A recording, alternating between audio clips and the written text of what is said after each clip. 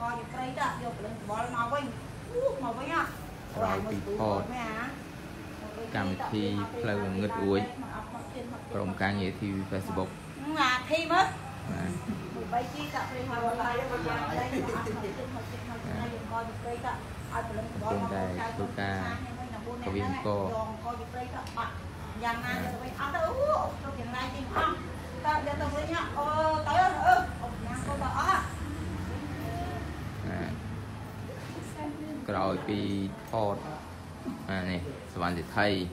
គឺស្បល់មួយថ្ងៃហើយបាទអា BOB ជឿនិយាយចំរូបភាពមិញចង់និយាយថាសួរទាំង4នាក់អត់មានដឹងឃើញសោះនេះអ្នកកាត់ទៀតអត់មានឃើញបានបានជាជាពលរដ្ឋនឹងព្រៃមិនហ្នឹងហើយពេលមិនគាត់គាត់មើលគាត់គ្រាន់ហើយខ្ញុំខ្ញុំមើលអត់សឹងអត់សឹងជឿហ្មង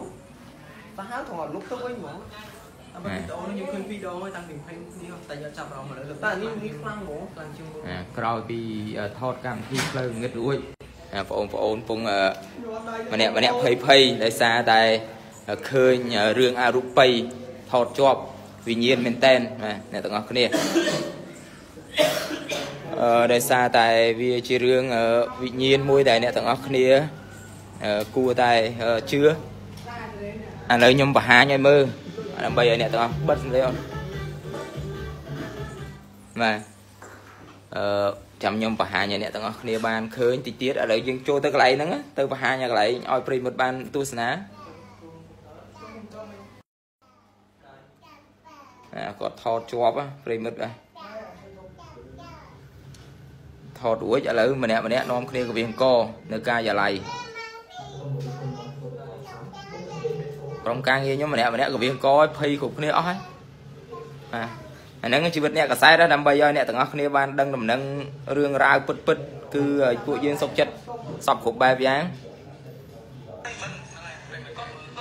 អ្នកទាំងអស់គ្នាបានដឹងដំណឹងរឿងរ៉ាវពិតពិតៗគឺនេះប្រិមិត្តបាទឥឡូវខ្ញុំបង្ហាញឲ្យអ្នកទាំងអស់គ្នាបានឃើញតើតើវិញ្ញាណឬមិនវិញ្ញាណឥឡូវនេះក្រុមការងារពងម្នាក់ម្នាក់បាក់សក់គ្រប់គ្នានេះជួយ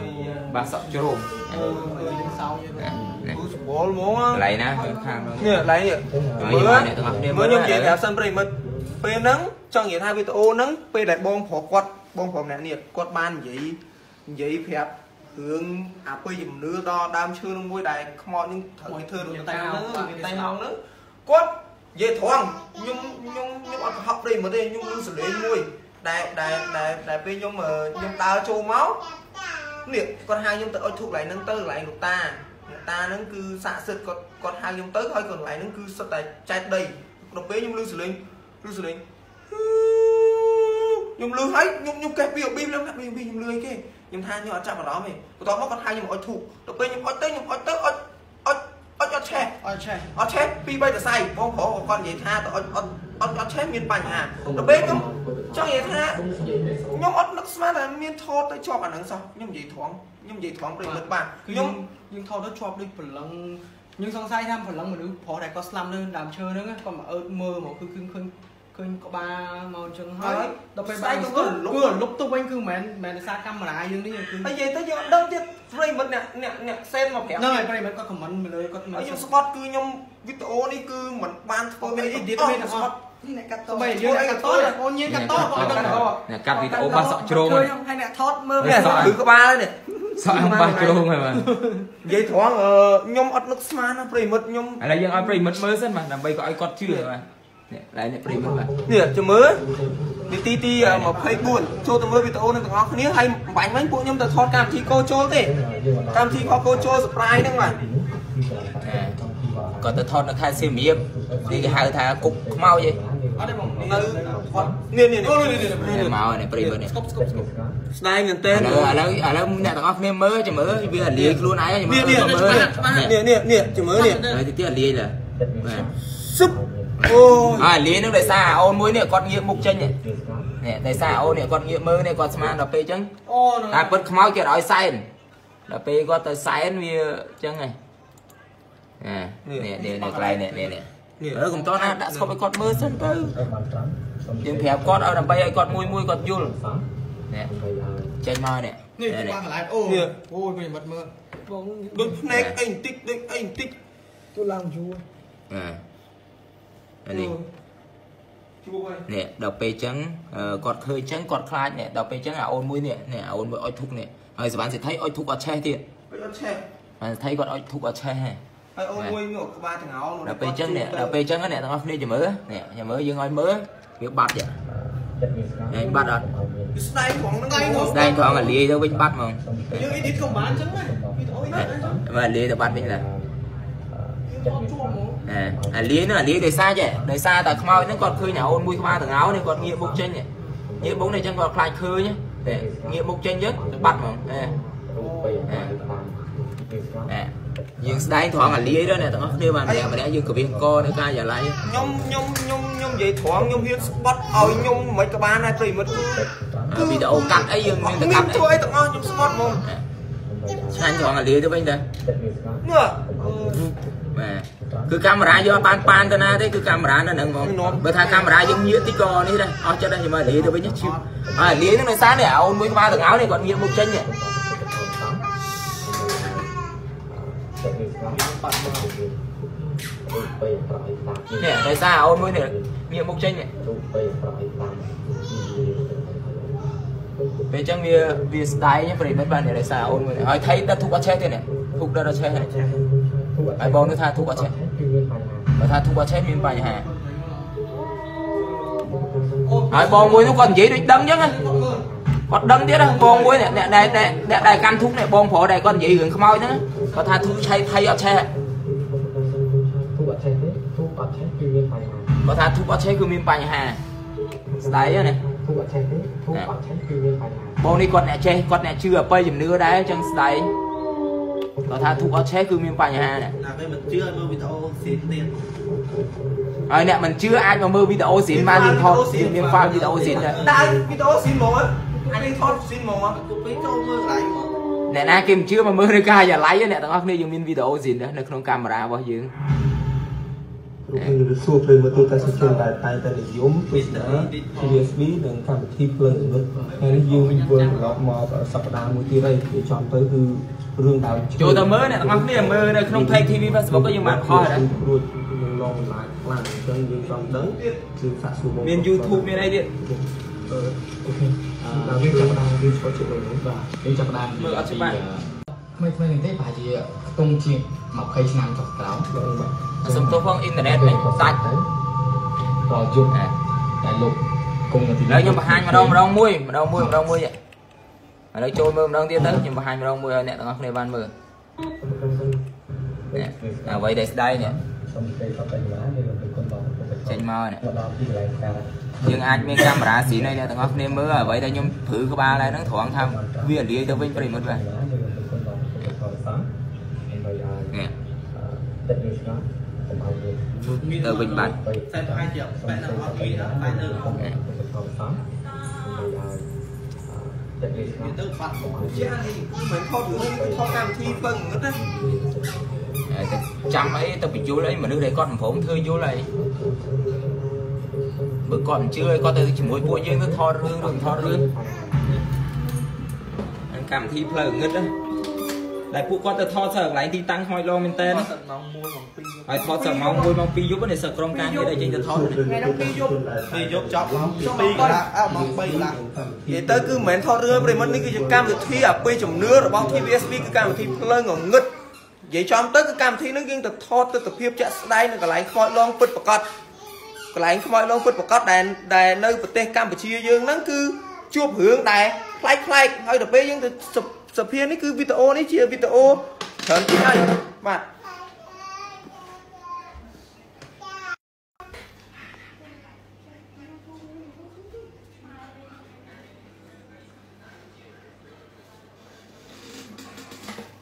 អញ្ចឹងបានប្រិមិត្តបាទសូមកុំនេះអញ្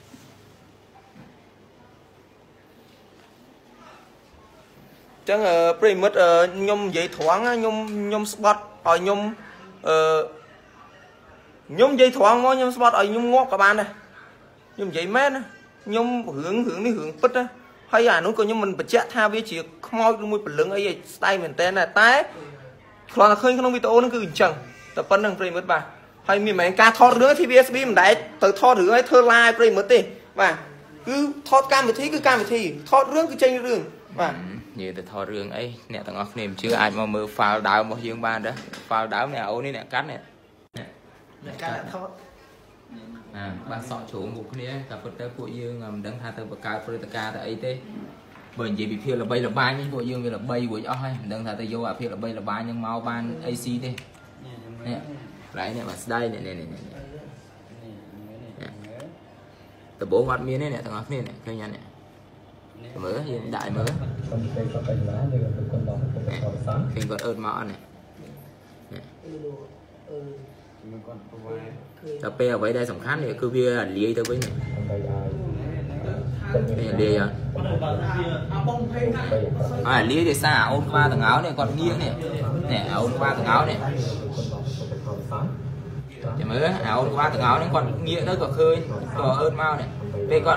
ម្បីឲ្យនេះលាយអត់អាបងភេងណាអាលាយដោយសារអូនក្បាលតងោនេះគាត់ងាកនេះនេះអូនក្បាលតងោនេះគុណដល់ពុទ្ធបរិស័ទចាំមើលអាអូនក្បាលតងោនេះគាត់ងាកទៅក៏ឃើញក៏អឺតមកនេះពេលគាត់ងាកទៅគឺអាលាយដោយសារអូនក្បាលតងោនេះគាត់ងាករូបបីប្រតិបត្តិពី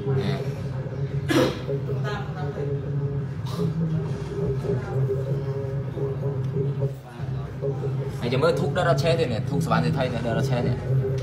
ហើយបងនោះគាត់ថាឡើយហើយធុកដល់រឆេមានបញ្ហាទុកអត់ទេគឺមានបញ្ហា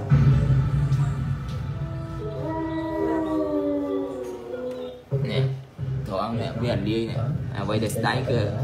គឺនេះឃើញអឺតមកនេះទីទៅអាលាយទៅលើកាមេរ៉ាយើងបានយកទៅណាទេបាទរូបបីប្រតិបត្តិនេះយើងមិនមែនទៅ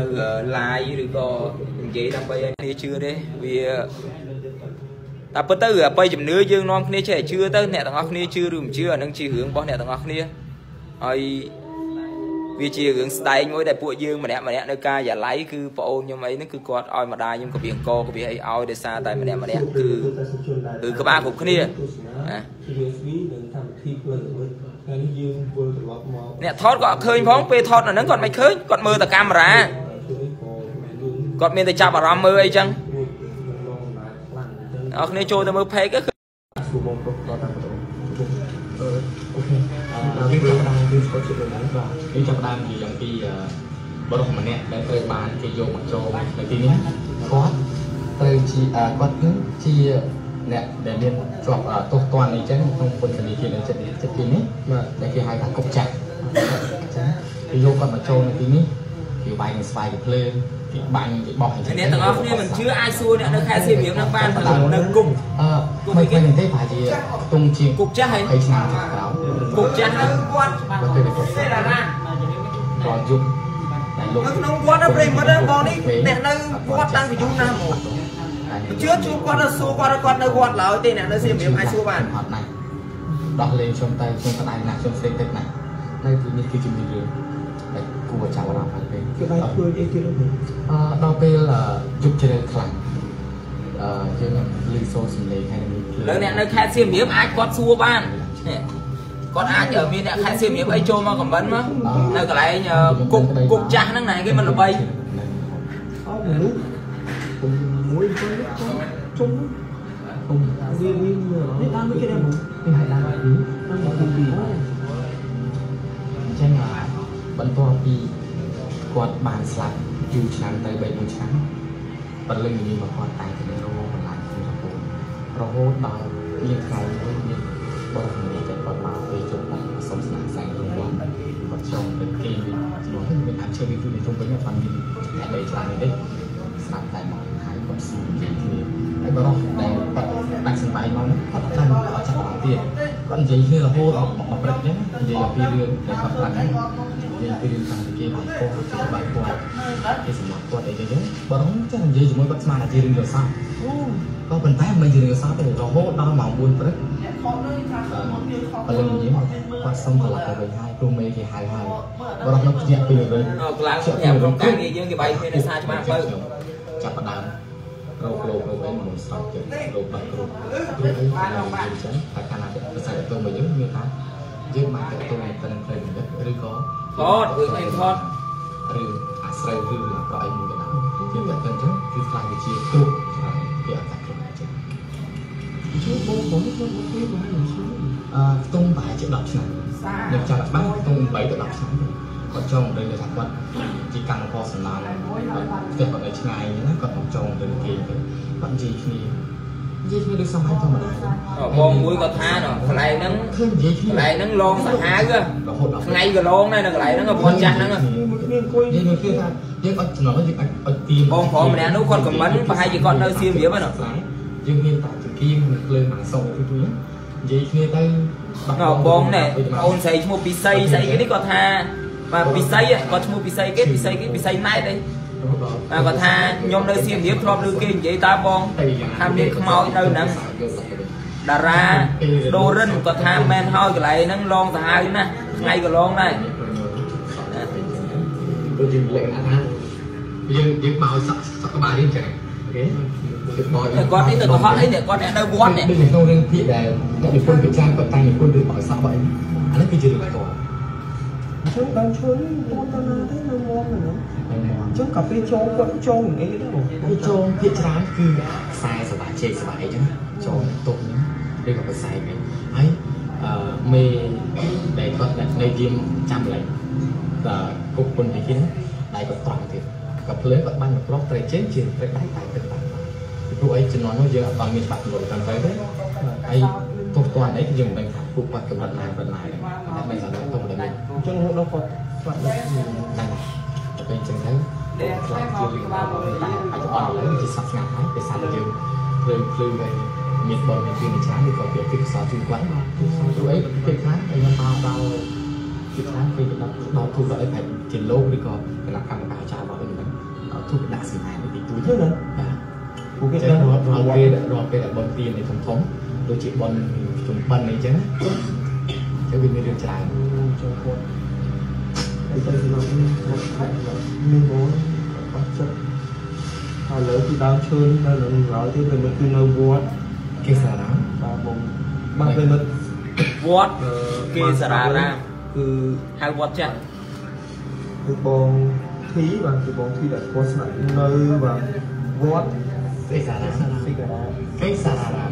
សារារាមគឺហៅវត្តចាស់គឺបងធីបាទគឺបងធីដែលគាត់ស្នាក់នៅបាទវត្តគេសារ៉ាមស៊ីការាគេសារ៉ាមគេសារអារាមគឺគាត់រស់នៅនិសឹងមួយជីវិតទៅហើយតែមិនគឺគាត់បាននិយាយយ៉ាងបោះក្បាយយ៉ាងច្បាស់មែនទែនតែគាត់រស់នៅទីគាត់តែម្ដងហើយនិយាយចំវិញខ្ញុំស្ដាប់យ៉ាងគឺសម្គាល់ពួកអីឈរចិត្តនឹងផ្ទាល់តែម្ដងវាពីស្ដាប់ទៅរឿងរឿងឡើងវិញពួកខ្ញុំគិតថារឿងរឿងរឿងគាត់គឺផ្លែក ហើយថតហ្នឹងថតម៉ោង1ម៉ោង2យប់ហ៎ពីជំនុំបណ្ឌិតដូចអឺទស្សនិកជនមួយមកគាត់ទៅគឺពិតបាទជឿអាចจะសួរបងនេះបានទេធំគឺធំឡើងវ័យគាត់ធំឡើងគឺនៅក្នុងវត្តទៅដល់ពេលចឹងគាត់ដឹងរឿងច្រើនហើយនេះគឺវ័យគាត់ដឹងតពីពីពីខាងសំណាក់ព្រះសង្ឃឬក៏ដូចជាមិត្តភក្តិអីក៏ដោយប៉ុន្តែទៅពេលហ្នឹងគាត់នៅនឹងបាទបងគាត់នៅនៅហ្នឹងប៉ុន្តែតនេះបងអឺពេលដែលដែលបរិសុទ្ធឈឺមិនតាន់បងនៅគាត់មកមក មកមកមកនិយាយមួយគាត់អូនៅហ្នឹងខ្ញុំចង់និយាយថាពីជំជំនានាញញទៅចងហ្នឹងហើយចំចំណងជន់គឺបងតន់តែគាត់ថាបងប្រុសតន់អ្នកដែលឈឺជួយបំពេញចំចំណុចដែលចូលកាលនេះនៅពេញពេញទូអញ្ចឹងខ្ញុំក៏ចាក់អារម្មណ៍យើងចាក់បានខ្លះខ្លះហើយស្អីនៅក្មេងៗបែកខ្ទង់អាយុ6 7ឆ្នាំឃើញគាត់អញ្ចឹងយើងអាចចងចាំបានខ្លះខ្លះដោយសារយើងនៅក្មេងៗយើងអត់សូវដឹងថាអ្វីទេជាកំភ្លើងឬជាអាវុធអីផ្សេងផ្សេងសម្រាប់ច្បាប់នោះគាត់តែដឹងថាម៉ាក់បាយតិចយំដល់ពេលឃើញគេបាយមនុស្សខ្ញុំជុំមកឈោមើលទៅ ឃើញឈាមឃើញអីក៏យើងអត់ដឹងថាវាយ៉ាងម៉េចដែរចឹងឃើញបងឃើញឃើញឃើញចំនួនហ្នឹងឃើញមនុស្សមនុស្សតន់ហ្នឹងតន់ចំនួនបានវាយហ្នឹងបាទយូរហើយហ្មងអឺបរំដែលគេវាយហ្នឹងហើយវាខ្ទង់អាយុ30ជីទៅ40ហើយគាត់ស្លៀកពាក់អាវពណ៌ខៀវ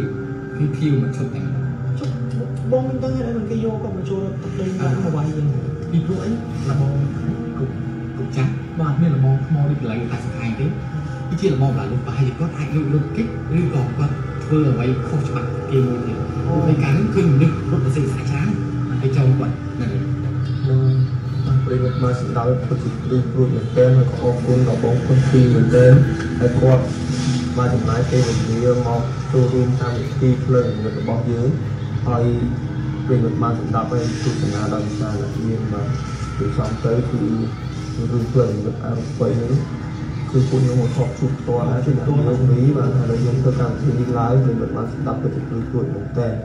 គឺសប្តាហ៍ទៅសប្តាហ៍គឺខ្ញុំជួបរឿងផ្សេងៗហ្នឹងបាទមកជឿកុំប្រមាថអរគុណមែនទែនប្រិយមិត្តរាប់ការតាមដានទស្សនា TVSB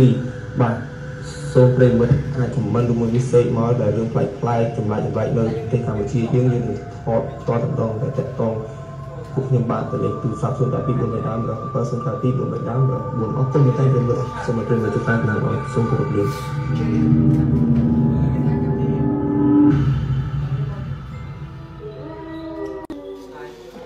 ហ្នឹងឯងអ្នកទាំងអស់គ្នាអឺអ្វីដែលយើងធ្វើការផ្សព្វផ្សាយនេះវាយើងមិនមែនបខំឲ្យអ្នកទាំងអស់គ្នាជឿឬក៏យើងអះអាងថានេះជារឿងពិតឬក៏យ៉ាងណាទេប៉ុន្តែអ្វីដែលយើងថតទាំងអស់នេះវា ជារឿងមួយដែលយើងថតជាប់ដោយចែកដន់ហើយវាស្ដែងដែរសម្រាប់ក្រុមការងារខ្ញុំរហូតតតែខ្ញុំសម្រេចចិត្តឲ្យក្រុមការងារខ្ញុំហ្នឹងឲ្យម្ដាយរបស់ខ្ញុំជាពិសេសម្ដាយរបស់ខ្ញុំហ្នឹងគាត់ឲ្យក្រុមការងារខ្ញុំមានប្អូននេះសវណ្ណសិទ្ធិអូន BOB ណាប្អូនញៀនញៀននេះមានពេជ្រ ទៅ4នាក់យើងទៅ4នាក់ពួកគាត់ទៅ4នាក់ហ្នឹងនៅសៀមរាបហ្នឹងបាទហើយមានការសហការពីបងប្អូននៅខាងខេត្តគាត់ចាំទទួលពួកយើងបងពួកគាត់ក៏បាទដែរអាយើងយើងធ្វើការផ្សព្វផ្សាយទាំងអស់នេះយើងគ្រាន់តែយើងគ្រាន់តែថាអ្វីដែលយើងទៅហ្នឹងយើងឃើញរឿងមួយដែលវាចម្លែកឲ្យអ្វីដែលបើសិនជាពួកយើងផ្សាយកម្មវិធីហ្នឹងយូរហើយតែពួកយើងមិនដែលបាននិយាយទេដោយសារអីលើកនេះយើងនិយាយដោយសារតែវាជារឿងមួយដែលគួរឲ្យរន្ធត់ពេកអញ្ចឹងយើងក៏ផ្សាយឲ្យអ្នកទាំងអស់គ្នាបានដឹងទៅ ហើយនេះគឺជារឿងមួយដែលក្រុមការងារខ្ញុំក៏នៅពេលដែលគាត់ដិតធុកនេះសូមរំលឹកគុណដល់ពុទ្ធធម៌សាសបងនិយាយទៅសូបាទបងហើយបងប្រុសម្នាក់នេះគាត់អ្នកនៅវត្តនឹងផ្ទាល់ហ្មងនេះបងប្រុសម្នាក់ពាក់អាវក្រហមអញ្ចឹងយើងមកដល់ទីរយការទីនេះទីចាំកាត់ទៅក្នុងទីបារាំងនេះនេះបងប្រុសនេះគាត់អ្នកនៅវត្តសូមទេថាយើងរំលឹកគុណ ដល់ពុទ្ធធម៌សាសនេះកន្លែងនេះឃើញនេះឃើញអឺតមកនេះមើល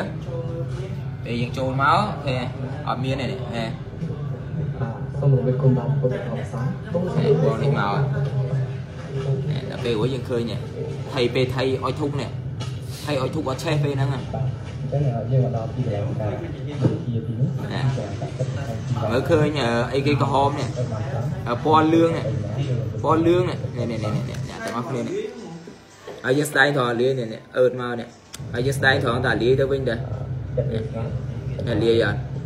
អាលាយដោយសារអូនមួយនេះងាកមុខនេះអាអូនមួយក្បាលទាំងអោនេះគាត់ងាកទៅក៏លាយបាត់ទៅនេះសត្វតែយើងរំលឹកគុណដល់ពុទ្ធធម៌សាសដើម្បីឲ្យពេលពេលអូននឹងងាកមុខទៅលាយបាត់ទៅសូមទេសត្វតែនិយាយទៅខ្មោចចេះខ្លាចមនុស្សដែរដែរធម៌សាសតែពេលអូននឹងងាកមុខទៅអាលាយបាត់ឡើយចិត្តនេះស្គាល់សម្រាប់យើងណារូបបីប្រអីតាមយីយីយើងទៅ នេះ កន្លែងនេះនេះនេះតាមនេះចាំមើលចេញមកយើងគុណដល់ហើយយើងយើងសំខាន់ត្រង់អាលាយទៅវិញណាអ្នកនរគ្នាឃើញនេះអាលាយទៅវិញឡើយសម្រាប់យើងណារូបបីប្រអីតាមហើយរូបនេះមិនមែនរូបយើងកាត់តកាត់អីទេហើយអ្នកណាគេត្រូវការហ្វាល់ដើមអីអាចមកយកពីកាមេរ៉ាបានពួកយើងនៅកាមេរ៉ាតាមសូមទេសត្វតែណានេះនិយាយត្រង់អាអូនក្បាលទាំងអោហ្នឹងគាត់ងាកទៅវិញដែរដើម្បីឲ្យនេះចិត្តនេះស្គាល់អេអូនកម្មអាអូនមួយក្បាលទាំងអោហ្នឹងគាត់ងាកមុខនេះអូនមួយនេះ យីយីអូនមួយហ្នឹងគាត់ងាកមុខទៅក៏លាយទៅហើយនេតិអ្នកទាំងអស់គ្នាអាចចូលទៅមើល page បាននេតិនៅនេតិទី25មកទៅចាប់ផ្ដើមចេញមកនេតិទី25គុណដល់ពុទ្ធធម៌សាសដើម្បីឲ្យចិត្តនេះស្គាល់សម្រាប់យើងរូបបីប្រអីនៅខេត្តសៀមរាបយីយីហើយថៃដិតធុកអត់ឆេះទេនេះបងនោះគាត់ថាថៃដិតធុកអត់អត់ថៃដិតធុកអត់ឆេះហ្នឹងគឺមានបញ្ហាអត់ឆេះគឺមានបញ្ហាអេ ថៃគាត់ថាថៃដិតធុកអត់ឆេះទូកអត់ឆេះគឺមានបញ្ហាថៃមើលភ័យមើលមុខថៃភ័យឆេះទេទូកអត់ឆេះគឺមានបញ្ហាគាត់ថាថៃដិតធុកអត់ឆេះហ្នឹងគឺមានបញ្ហាមានន័យថានៅពេលហ្នឹងគឺខ្មោចទៅបាត់ហើយវាស្គាល់នេះត្រង់សំទេសតៃណាយើងនេះខ្មោចនេះអឺតមកនេះហេយើងមិនដឹងថាខ្មោចឬក៏ជាស្អីទេណាយើងអត់ហ៊ានអះអាងទេរូបបីប្រអីតាមតែយើងមើលទៅវាស្ដាយវិញហេសម្រាប់យើងត្រង់សំទេសតៃណាយើងគុណដល់ពុទ្ធធម៌សា យើងមិនដឹងថាជាអ្វីទេស្ដាយយើងក៏ស្ដាយយ៉ាងហ្នឹងហេសម្រាប់យើងបាទរូបបីប្រអីតាមយីយីទៅតាមហើយថៃដិតធុកធុកអត់ឆេះមកដើមនេះទូកអត់ឆេះទេទូកអត់ឆេះគឺមានបញ្ហាគាត់ថាថៃហ្នឹងដិតធុកអត់ឆេះគឺមានបញ្ហាទូកអត់ឆេះទេទូកអត់ឆេះគឺមានបញ្ហា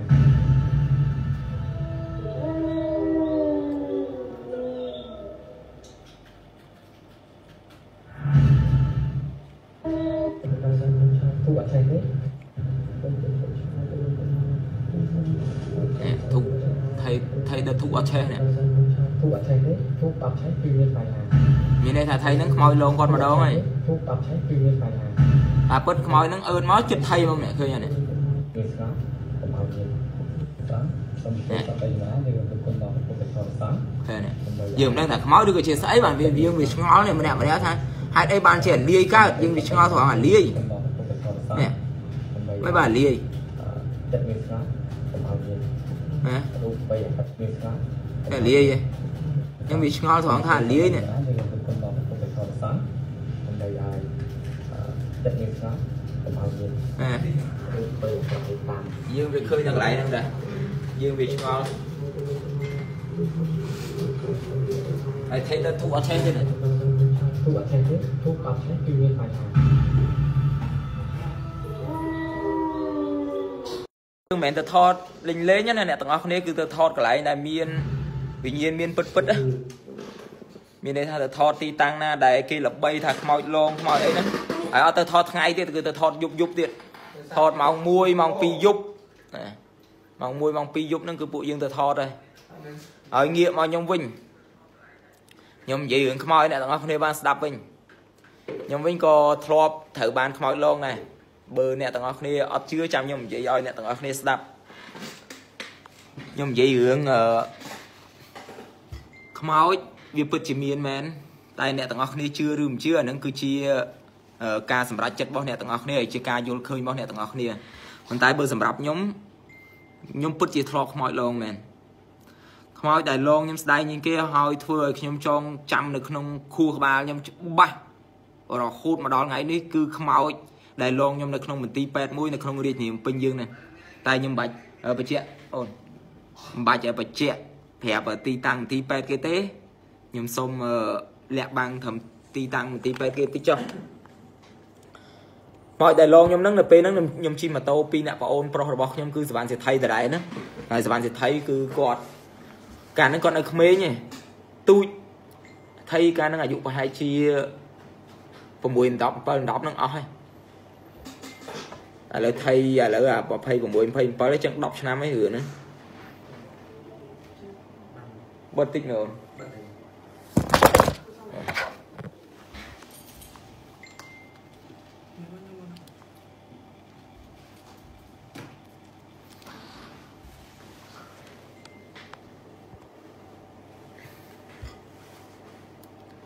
ពេលហ្នឹងខ្ញុំទៅយកពេលហ្នឹងម៉ោងប្រហែលជា2 10យប់ណាហើយបើនិយាយប្រាប់គេគេថាយើងមនុស្សឈួតទៀតណានៅពេលដែលយើងនិយាយ និយាយប្រាប់អ្នកអត់ជឿគេថាយើងនឹងឈួតតែបើអ្នកដែលធ្លាប់ខ្មោចលងគឺគេថាយើងមិនឈួតទេដោយសារអីគឺពួកគាត់ធ្លាប់ខ្មោចលងអ្នកទាំងអស់គ្នាចាំខ្ញុំប្រាប់ពីរបៀបនៃពីរបៀបដែលយើងជួបខ្មោចនិងជួបមនុស្សណាពីរបៀបជួបខ្មោចនិងជួបមនុស្សអារម្មណ៍នៅពេលដែលយើងជួបខ្មោចខ្ញុំប្រាប់ខ្មោចនៅពេលដែលយើងជួបពេលយប់ឡើងណាគឺ មានខ្យល់តិចខ្សៀដូចរឿងគេថតចឹងរឿងថៃគេថតមិនរឿងខ្មែរយើងគេថតមិនគឺចឹងមានខ្យល់តិចជាងម៉ាស៊ីនតិចទៀតខ្យល់តិចជាងម៉ាស៊ីនតិចទៀតហើយអារម្មណ៍ដែលយើងជួបខ្មោចទោះបីជាខ្មោចនឹងគាត់ប្រឡងជាសំលេងឬក៏គាត់ធ្វើជារូបអីក៏ដោយជារូបសត្វរូបឆ្កែរូបឆ្មារូបអីក៏ដោយ ប៉ុន្តែយើងមានអារម្មណ៍មួយថាក្បាលរបស់យើងព្រឺប៉ុណ្ណេះបាទយើងព្រឺហ្មងសក់របស់យើងបាសបាសជ្រងជ្រងយ៉ាងហ្នឹងយើងជួបខ្មោចឯងហើយខ្ញុំប្រាប់មែនណាពេលយើងជួបខ្មោចព្រឺសម្បល់ខ្ញាខ្ញាហើយពេលខ្ញុំនិយាយអញ្ចឹងអ្នកទាំងអស់គ្នាព្រឺសម្បល់គឺខ្មោចគេពងអាកេះអ្នកទាំងអស់គ្នាហើយគេនៅចិត្តអ្នកទាំងអស់គ្នានិយាយទៅវិញ្ញាណយើងអត់មានឋាននរកណាទេឋាននរកគឺនៅយើងហ្នឹងខ្មោចគឺមានគ្រប់កន្លែងហ្នឹងខ្មោចគឺមានគ្រប់កន្លែង គ្រាន់តែយើងមើលគេអត់ឃើញតែគេមើលយើងឃើញខ្មោចខ្មោចគេខ្មោចមានគ្រប់កន្លែងគ្រាន់តែយើងមើលគេអត់ឃើញតែគេមើលយើងឃើញតែពេលខ្លះរាសីយើងដាក់ឬក៏អ្នកខ្លះគាត់កើតមកមានភ្នែកដែលអាចមើលឃើញខ្មោចឬក៏កញ្ចៅដែលអាចមើលឃើញខ្មោចណាអញ្ចឹងគឺគាត់មើលឃើញខ្មោចហើយពេលហ្នឹងខ្ញុំទៅយកឥឡូវងាកទៅរឿងយាយ ងាកទៅរឿងខ្មោចលងខ្ញុំនៅមន្ទីរពេទ្យវិញហ្នឹងគាត់និយាយត្រូវនេះនៅពេលដែលខ្មោចឡងគឺយើងមានអារម្មណ៍មួយថាយើងមិនមែនជួបមនុស្សទេហើយក៏មិនមែនជួបសត្វដែរជួបខ្មោចគឺដូចបងប្រុសមួយនេះនិយាយហ្នឹងខ្មោចឡងគាត់ថាខ្យល់តិចបាសរោមព្រឺសម្បុរហើយព្រឺក្បាលជាពិសេសព្រឺក្បាលហ្មងយើងជួបខ្មោចគឺព្រឺក្បាលហ្មងជួបខ្មោចគឺព្រឺក្បាលហ្មង មិនដូចជួបមនុស្សណាពេលដែលយើងជួបមនុស្សគ្នាយើងគឺអត់ព្រឺក្បាលដាច់ខាតហ្មងក្បាលយើងនឹងគឺអត់ព្រឺទេនៅពេលដែលយើងជួបខ្មោចគឺព្រឺព្រឺណាព្រឺក្បាលប៉ុនប៉ុណ្ណានេះប៉ុនប៉ុនល្អីខ្ញុំធ្លាប់ខ្មោចឡងស្ដែងម្ដងក្នុងជីវិតអត់ដែរក្នុងជីវិតខ្ញុំគឺជួបខ្មោច3ដងប៉ុន្តែខ្មោចដែលឡងខ្ញុំស្ដែងគឺមាន2ដងហើយ2ដងហ្នឹងគឺជិះម៉ូតូមួយសវណ្ណសិទ្ធិទាំង2ដងណាពេលដែលយើងជួបខ្មោចពេលហ្នឹងខ្ញុំទៅ ទៅមើលយាយខ្ញុំប្រហែលជា10ឆ្នាំជាងមុននៅមន្ទីរពេទ្យមួយក្នុងរាជធានីភ្នំពេញ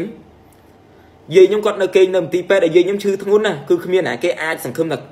យាយរបស់ខ្ញុំរស់រៀនមានជីវិតដល់រាល់ថ្ងៃទេពេលហ្នឹងម៉ោងប្រហែលជា2 10យប់សវណ្ណតគិនប្អូនខ្ញុំហ្នឹងណាគាត់ចង់ខ្ចីម៉ូតូខ្ញុំហ្នឹងទៅជួបជាមួយនឹងសង្សាររបស់គាត់អញ្ចឹងគាត់ថាគាត់ទៅមើលយាយខ្ញុំឈឺយាយខ្ញុំឈឺធ្ងន់ណាអញ្ចឹងខ្ញុំថាបើយាយឈឺធ្ងន់ ហើយមិនអត់ព្រមឲ្យបងទៅតាមពិតគាត់កុហកខ្ញុំគាត់ចង់យកម៉ូតូខ្ញុំហ្នឹងទៅជួបជាមួយនឹងសង្សាររបស់គាត់ទេអញ្ចឹងទៅខ្ញុំក៏ស្ដីឲ្យគាត់អញ្ចឹងទៅគាត់ថាឥឡូវបើខ្ញុំស្ដីគាត់ថាបើចុះបើយាយឈឺធ្ងន់ហើយព្រមប្រាប់អញអញទៅមើលគាត់អញ្ចឹងខ្ញុំក៏ទៅមើលពេលហ្នឹងពេលខ្ញុំស្ដីវាទៅស្ដីអាគិនទៅអាគិនអត់ឡើងម៉ូតូទៅជាមួយខ្ញុំទេពេលហ្នឹងអាថៃសវណ្ណសិទ្ធិបងអូនខ្ញុំហ្នឹងខ្ញុំក៏ហៅអាថៃពេលហ្នឹងពួកខ្ញុំនៅផ្ទះជួល3អ្នកបងប្អូននៅម្ដុំសាដើមកនៅផ្ទះជួល ជួលផ្ទះនៅម្ដុំសាដើមកជួលផ្ទះគេប្រហែលជាទូចមែនតែនផ្ទះប្រហែលជា1ម៉ែត្រ4ជ្រុងណា1ម៉ែត្រ4ជ្រុងកតុបទូចដេក3អ្នកបងប្អូនពេលហ្នឹងចេញម៉ូតូជិះអាគប់ទៅអាគប់ខ្ញុំគឺអាគប់ចិត្តខ្ញុំចាំបានច្បាស់ហ่ะជិះអាគប់ចិត្តពេលហ្នឹងខ្ញុំចេញទៅក៏ទៅដល់មន្ទីរពេទ្យមន្ទីរពេទ្យមួយ ពេលទៅដល់មន្ទីរពេទ្យហ្នឹងម៉ោងពេលខ្ញុំឈប់ម៉ូតូម៉ោងខ្ញុំមើលម៉ោងណាពេលដែលខ្ញុំឈប់ម៉ូតូគឺខ្ញុំមើលម៉ោងហ្មងគឺខ្ញុំមើលម៉ោងឃើញហ្មងម៉ោង2:10គត់ហ្មងហើយនៅពេលហ្នឹងគេចាប់ផ្ដើម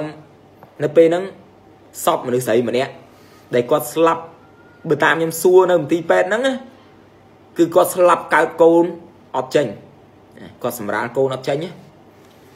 អញ្ចឹងទៅគាត់ក៏ស្លាប់អញ្ចឹងមិនគេហៅថាព្រាយកលាភ្លើងនៅពេលដែលម្នាក់ស្រីនឹងស្លាប់នៅពេលដែលខ្ញុំឈប់ម៉ូតូឈប់ម៉ូតូនៅមុខបន្ទប់យាយខ្ញុំហ្នឹងគេក៏បានអូសសពម្នាក់ស្រីនឹងកាត់មុខខ្ញុំស្ដាយមែនតើអ្នកទាំងអស់គ្នាពេលដែលអូសសពអ្នកស្រីនឹងកាត់មុខខ្ញុំគឺកណាត់សគេគ្របពេលដែលគាត់អូសមកដល់កន្លែងខ្ញុំហ្នឹងដល់កន្លែងម៉ូតូដែលខ្ញុំឈប់ហ្នឹងខ្យល់បក់មកកណាត់សប៉ើងចេញពីមុខគាត់ខ្ញុំមានអារម្មណ៍មួយថាអឺ គាត់ឡងខ្ញុំបាត់ហើយមានន័យថាម្នាក់ស្រីហ្នឹងគាត់មានរឿងអីអត់អស់ចិត្តចង់ខ្ញុំជួយប៉ុន្តែកាលហ្នឹងខ្ញុំអត់តន់ធ្វើជាអ្នកកសែតទេខ្ញុំជាអ្នកសរសេរទស្សនាវដ្តីខ្ញុំសរសេរនៅទស្សនាវដ្តីមួយនៅក្នុងប្រទេសកម្ពុជាយើងហ្នឹងឲ្យជាទស្សនាវដ្តីល្បីដែរហើយខ្ញុំសរសេរពីរឿងពីរឿងសន្តិសុខរឿងហ្នឹងនឹងរឿងអបិយជំនឿហ្នឹងខ្ញុំសេរឿងខ្មោចចងកចងអីហ្នឹងគឺខ្ញុំអ្នកតសេនៅទស្សនាបដីកាលហ្នឹងគឺខ្ញុំនៅ ខ្ញុំនៅតសេឲ្យទស្សនាបដីអង្គរធំណាតសេឲ្យទស្សនាបដីអង្គរធំចឹងនៅពេលដែលគេអូសពអ្នកស្រីនឹងកាត់មុខខ្ញុំកណាត់សដែលគេគ្របពីលើគាត់ដែលគាត់កើតកូនអត់ចេះហ្នឹងគេហៅព្រីកលាភ្លើងទៅពេលហ្នឹងគេអូសពគាត់ទៅមកដល់អាកន្លែងម៉ូតូដែលខ្ញុំឈប់ហ្នឹងកណាត់សប៉ៅពេលហ្នឹងយាយខ្ញុំគាត់ឃើញអញ្ចឹងគាត់ក៏ខាត់ខ្ញុំគាត់ថាចៅអាខ្ញុំទៅមើលយាយខ្ញុំយាយខ្ញុំអត់ឈឺហ្នឹងតែពុតអាប្អូនខ្ញុំអាគីនកុហកហ្នឹង ពេលហ្នឹងខ្ញុំក៏ក៏ក៏ចុះពីលើម៉ូតូជាមួយនឹងប្អូនខ្ញុំសវណ្ណសេដ្ឋីយើងអត់ចាប់អារម្មណ៍ទេយាយខ្ញុំគាត់ឃើញអញ្ចឹងចាស់ចាស់ពីដើមយាយខ្ញុំហើយយាយខ្ញុំនៅនៅរស់រៀនមានជីវិតដល់រងថ្ងៃទេយាយខ្ញុំគាត់ឃើញអញ្ចឹងគាត់ក៏ប្រាប់ខ្ញុំថាចៅអាចៅឯងបាច់ត្រឡប់ទៅផ្ទះវិញទេចៅឯងដេកនៅហ្នឹងហើយខ្ញុំសួរគាត់ថាមិនបានឲ្យខ្ញុំដេកនៅហ្នឹងគាត់ថាចៅឯងបាច់សួរទេ គាត់ប្រាប់ខ្ញុំអញ្ចឹងប៉ុន្តែយាយខ្ញុំគាត់ដឹងដោយសារអីយាយខ្ញុំគឺជាមនុស្សចាស់ពីដើមអាយុគាត់ឥឡូវនេះ8ជាងហើយអញ្ចឹងគាត់ជាមនុស្សចាស់បុរាណណាអញ្ចឹងគាត់ក៏អឺដឹងគាត់ដឹងណាដោយសារគាត់ឃើញខ្ញុំ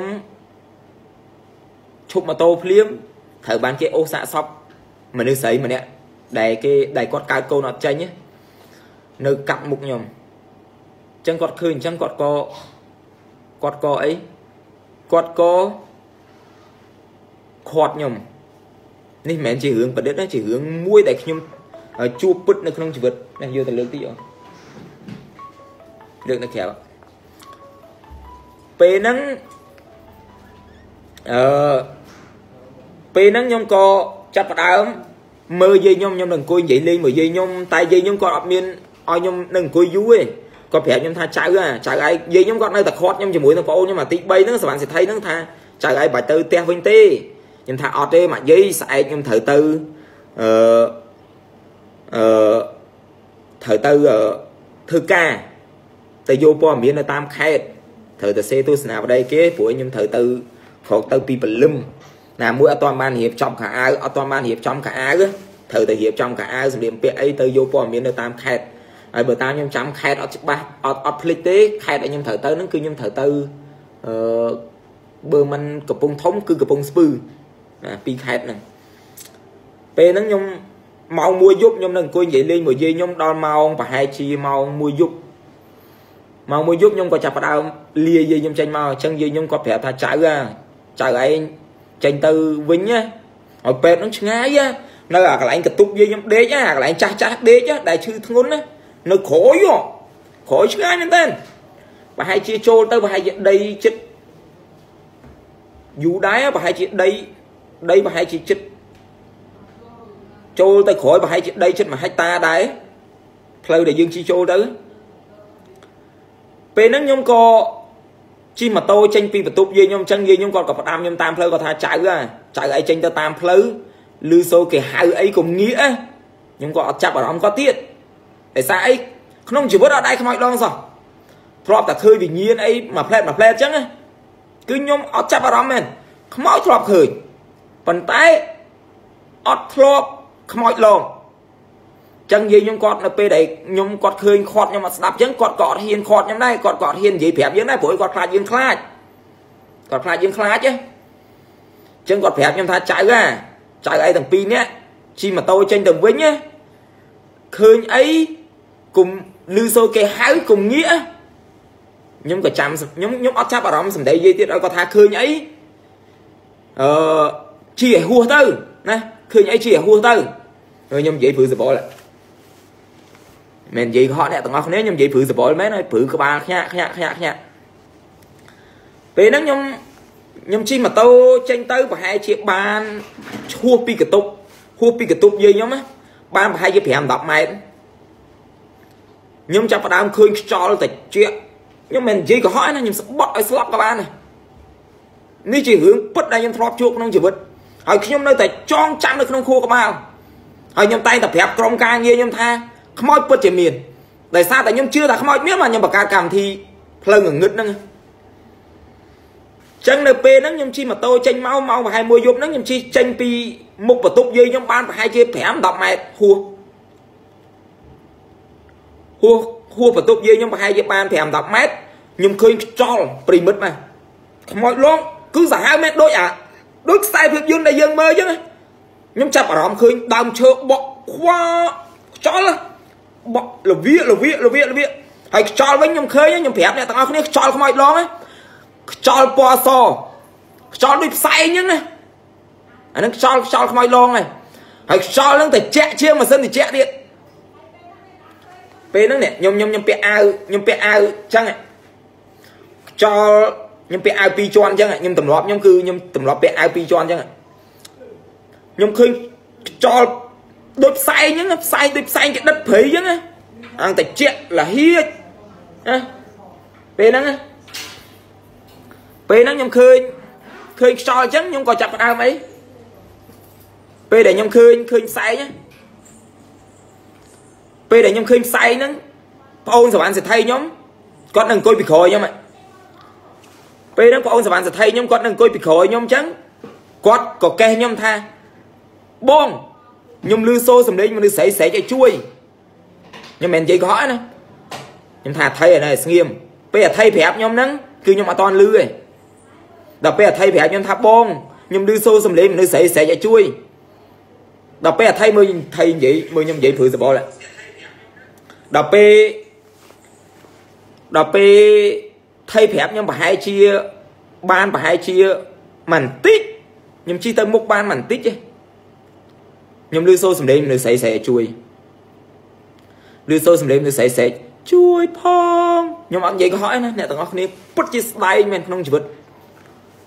បើអ្នកទាំងអស់គ្នាជឿឬមិនជឿក៏តាមចិត្តអ្នកទាំងអស់គ្នាប៉ុន្តែខ្ញុំពិតជាលឺសូរសំឡេងមនុស្សស្រីស្រែកឲ្យជួយមែន ជួយខ្ញុំផង ជួយខ្ញុំផងអាងកលួចហ្មងណាជួយខ្ញុំផងស្រែកអាងកលួច ជួយខ្ញុំផងពេលហ្នឹងខ្ញុំក៏ក៏ចាប់អារម្មណ៍ត្រង់មួយយ៉ាងឯងដែលខ្ញុំជឿថាខ្មោចឡងពេលហ្នឹងខ្ញុំជិះម៉ូតូជិះម៉ូតូខ្ញុំចាប់អារម្មណ៍មើលដើមឈើ3 4ដើមដែលនៅជាប់ខ្លួនខ្ញុំណាអឺ ប្អូនដែលអត់ជឿប្អូនគង់ថ្ងៃណាមួយខ្មោចលងរបស់ខ្មោចលងប្អូនបានប្អូនដឹងថាអូលើលោកនេះខ្មោចមានមែនពេលហ្នឹងខ្ញុំបានខ្ញុំខ្ញុំប្រាប់អ្នកទាំងអស់គ្នាថាបើមិនជឿសូមគុំប្រមាទខ្ញុំខ្ញុំខ្ញុំប្រាប់អ្នកទាំងអស់គ្នាដោយសារខ្ញុំជាមនុស្សម្នាក់ដែលរឿងក្បាលគឺអត់ដែរជឿរឿងចឹងចឹងខ្ញុំប្រាប់អ្នកទាំងអស់គ្នាថាបើមិនជឿសូមគុំប្រមាទពេលហ្នឹងខ្ញុំជី ជីហួសបានបន្តិចខ្ញុំចាប់អារម្មណ៍មើលដើមឈើនៅក្បែរខ្លួនខ្ញុំ3 4ដើមពេលហ្នឹងខ្ញុំឮសូរសំឡេងមនុស្សស្រីស្រីជួយហ្នឹងខ្ញុំប្រាប់ថៃថាថៃហ៎អោបងមកជាប់ហើយកាលហ្នឹងខ្ញុំមានតែ2អ្នកបងប្អូនហើយពេទ្យពេទ្យហ្នឹងស្ងាត់ជ្រាបហើយអត់មានណាគេជិះម៉ូតូទៀតហើយថ្ងៃហ្នឹងខ្ញុំអរគុណបងសន្តិសុខម្នាក់មែនខ្ញុំអរគុណបងសន្តិសុខម្នាក់ពេលហ្នឹងខ្ញុំខ្ញុំជិះម៉ូតូអ្នកទាំងអស់គ្នាអ្វីដែលខ្ញុំថាខ្មោចឡងណា គឺខ្យល់បក់កាន់តែខ្លាំងទៅហើយសម្លេងម្នាក់ស្រីហ្នឹងស្រែកកាន់តែលឺនៅក្បែរលកជាខ្ញុំទៅលឺទៅហើយម៉ូតូខ្ញុំហ៎ខ្ញុំឃើញម៉ូតូទៅមុខប៉ុន្តែដើមឈើ3 4ដើមហ្នឹងគឺនៅជាប់ខ្លួនខ្ញុំរហូតមែនគឺខ្ញុំឃើញដើមគឺមានន័យថាខ្ញុំជីអត់ហួសដើមឈើ3 4ដើមហ្នឹងសោះអាហ្នឹងគេហៅផ្កាស្អីគេអាហ្នឹងផ្កាហ្នឹងគេហៅផ្កាអីគេផ្កាស្អីគេអាផ្កាហ្នឹងផ្កាធំធំខ្ញុំខ្ញុំភ្លេច ផ្កាហ្នឹងគេហៅផ្កាអីដើមហ្នឹងស្តៀងដើមពោអ្នកទាំងអស់គ្នាដើមហ្នឹងហើយផ្កាផ្កាហ្នឹងគេយកធ្វើធ្វើថ្នាំផ្ការាំងភ្នំអីម្ដាយខ្ញុំក៏ប្រាប់ថាផ្ការាំងភ្នំផ្កាហ្នឹងគេយកទៅធ្វើថ្នាំនៅពេលណាដែលមនុស្សស្រីកូនខ្ចីកូនអីចឹងទៅគេឲ្យយកទៅដាំទឹកផឹកមិនទេខ្ញុំឃើញដើមហ្នឹងគេដាំនៅក្នុងមន្ទីរពេទ្យហ្នឹងឥឡូវហ្នឹងដើមឈើហ្នឹងនៅឡើយ3 4ដើមហ្នឹង ខ្ញុំឃើញដើមឈើហ្នឹងខ្ញុំខំប្រឹងមូហ្គាម៉ូតូខ្មោចឡងសាហាវមែនអ្នកទាំងអស់គ្នាខ្ញុំខំមូហ្គាម៉ូតូអត់ទៅណាសោះខ្ញុំឃើញដើមឈើ3 4ដើមហ្នឹងមានន័យថារយៈពេលជាងកន្លះម៉ោងដែលខ្ញុំជិះម៉ូតូចេញពីមានន័យថាខ្ញុំជិះម៉ូតូចូលទៅពេទ្យហ្នឹងណាតែមួយផ្លែដែលចូលដល់ហើយយ៉ាងច្រើនជិះប្រហែលជា5នាទីដល់កន្ទប់យើងខ្ញុំដល់ពេលខ្ញុំជិះចេញមកវិញចិត្តកន្លះម៉ោងនៅតែអត់អត់ហួសពីអាដើមឈើ 3 4ដើមហ្នឹងអត់ទៅណាសោះអត់ទៅណាសោះណោះគាត់ត្រូវឲ្យគាត់ខមមិនរាំងភ្នំដើមផ្ការាំងភ្នំខ្ញុំឃើញដើមឈើផ្ការាំងភ្នំហ្នឹងនៅ3 4ដើមហ្នឹងនៅនឹងអត់ទៅណាមានន័យថាម៉ូតូខ្ញុំហើយពេលហ្នឹងម៉ូតូខ្ញុំភ្លើងអាលុតទាំងអស់អាថៃថាបងបងឯងធ្វើអីបងមិនបានភ្លើងម៉ូតូយើងអាលុតទាំងអស់បងឯងបិទភ្លើងម៉ូតូទៅអីខ្ញុំខ្ញុំខ្លាចបងអូនខ្ញុំគាត់ខ្លាចកាន់តែខ្លាំងតែបិទភ្លើងម៉ូតូ ភ្លើងម៉ូតូយើងដាច់អស់រលីងហ្មងតឹងសញ្ញោតឹងអីក៏បើកអត់ឃើញគឺអាងឹតស្លុបហ្មងម៉ូតូជិះអត់ទៅមុខឥឡូវអ្នកណាគេខ្លះធ្លាប់ជួបរឿងដូចខ្ញុំខ្ញុំធ្លាប់ឃើញសាហាវមែនដើមឈើ3 4ដើមអត់ទៅណាខ្ញុំជិះម៉ូតូជិតកន្លះម៉ោងនៅតែឃើញដើមឈើហ្នឹងតោះប្អូនខ្ញុំសវណ្ណសិទ្ធិខ្លាចខ្លាំងពេកប្អូនខ្ញុំហ៎ ប្អូនសវណ្ណសិទ្ធិខ្ញុំគាត់ខ្លាចខ្លាំងពេកពេលហ្នឹងខ្ញុំឃើញប្អូនសវណ្ណសិទ្ធិខ្ញុំគាត់ខ្លាចខ្លាំងពេកខ្ញុំចាំសម្ដីឪពុកខ្ញុំហើយយាយខ្ញុំក៏ប្រាប់ថាកុំឲ្យងាកឲ្យសោះចឹងខ្ញុំលឺសូរសម្លេងមនុស្សស្រីយំមិនក៏ដោយក៏ខ្ញុំអត់ងាកក្រោយដែរហើយខ្ញុំប្រាប់ប្អូនថៃប្អូនសវណ្ណសេដ្ឋីខ្ញុំថាកុំឲ្យវាងាកក្រោយឲ្យសោះកុំឲ្យងាកងាកក្រោយឲ្យសោះព្រោះអីយាយខ្ញុំគាត់បានផ្ដាំថាលឺសូរសំឡេងគេហៅគេឲ្យជួយអីគុំគុំងាកក្រោយអសោះ ចឹងខ្ញុំលឺសូរសំឡេងមនុស្សស្រីស្រែកឲ្យខ្ញុំជួយហ្នឹងគឺខ្ញុំអត់ងាកទេប៉ុន្តែខ្ញុំងាកងាកមើលដើមឈើអ្វីដែលខ្ញុំចាប់អារម្មណ៍គឺខ្ញុំងាកមើលដើមឈើនៅនៅខាងស្ដាំដៃខ្ញុំនេះដៃខ្ញុំជិះម៉ូតូអត់ហួសដើមឈើហ្នឹងសោះចិត្តកន្លះម៉ោងអ្នកទាំងអស់គ្នា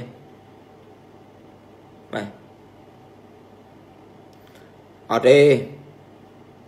គេឲ្យត្រឡប់ក្រោយអ្នកទាំងអស់គ្នាចាំសម្ដីខ្ញុំខ្មោចលងចាស់ចាស់គាត់និយាយថាខ្មោចលងខ្មោចហៅអីកុំឲ្យងាកក្រោយ ពេលហ្នឹងខ្ញុំជិះម៉ូតូទៅមុខរហូតអត់ទៅណាហើយខ្ញុំឆ្ងល់ត្រង់មួយយ៉ាងទេខ្ញុំជិះហួសកតុបយាយខ្ញុំគឺដើមឈើ3 4ដើមហ្នឹងបាំងកតុបយាយខ្ញុំចិត្តហ្មងគឺយើងមើលទៅអត់ឃើញអាគារមើលទៅអត់ឃើញអាគារពេទ្យទៀតទេហើយអាងឹតស្លុបហ្មងឲ្យដាច់ភ្លើងម៉ូតូបាត់ពេលហ្នឹងដល់ខ្ញុំធ្វើមិនអត់ខ្ញុំចាំសម្ដីឲ្យខ្ញុំហ៎ខ្ញុំចាំសម្ដីឪពុកខ្ញុំដែលគាត់ធ្លាប់ខ្មោចលងគាត់ដូចខ្ញុំគាត់ថាកូនណា បើឯប្រកបអាជីពជាអ្នកកសែតយកព័ត៌មានរឿងខ្មោចតែហោងអីចឹងណាហើយចាំបើខ្មោចលងណាខ្មោចលងឯជេខ្ញុំឃើញបងអូនខ្ញុំសវណ្ណសេដ្ឋីគាត់ខ្លាចខ្លាំងពេកគាត់ខ្លាចអង្យំអ្នកទាំងអស់គ្នាគាត់ខ្លាចអង្យំអោបខ្ញុំស្អិតដូចតកៅញើសបាច់ស្រាក់ស្រាក់ខ្ញុំអត់ដឹងថាធ្វើធ្វើមិនខ្ញុំឈប់ម៉ូតូជេមកណែណាខ្ញុំឈប់ម៉ូតូជេ ពេលហ្នឹងខ្ញុំឈប់ម៉ូតូជេខ្ញុំឈប់ម៉ូតូជេថាខ្ញុំឈប់ម៉ូតូជេហ្មងខ្ញុំជេពាក្យអសរុះខ្ញុំជេថាខ្ញុំជេពាក្យអសរុះថាខ្ញុំធ្វើអីមិនបានមីមិនបានខ្មោចឈួតហ្នឹងមកលងខ្ញុំអីពីអ្នកបងប្អូនខ្ញុំអញ្ចឹងខ្ញុំមានបានធ្វើអីអ្នកឯងណាតែខ្មោចលងសាហាវមែននិយាយមែនព្រាយកលាភ្លើងលងសាហាវមែនងាប់ភ្លាមលងភ្លាមសាហាវ ស្រែកឲ្យខ្ញុំជួយរហូតពេលហ្នឹងខ្ញុំឈប់ម៉ូតូជេតើតែខ្ញុំឈប់ម៉ូតូជេឈប់ម៉ូតូជេប្រហែលជាបាន3 4នាទីខ្ញុំជិះម៉ូតូខ្ញុំប្រឆេះម៉ូតូជិះទៅជិះទៅមុខបានជិះម៉ូតូមកជួបពូសន្តិសុខម្នាក់គត់ដែលធ្វើឲ្យខ្ញុំសប្បាយចិត្តដោយកើតម្ដងទៀតចឹងខ្ញុំជិះម៉ូតូផុតពីដើមឈើហ្នឹងប្រហែលជា5 5 10ម៉ែត្រខ្ញុំជួបពូសន្តិសុខម្នាក់ដែលគាត់យាមនៅក្នុងមន្ទីរពេទ្យហ្នឹងគាត់ដឹងថាខ្ញុំពីរអ្នកប្អូនខ្ញុំខ្មោចលងហ្នឹង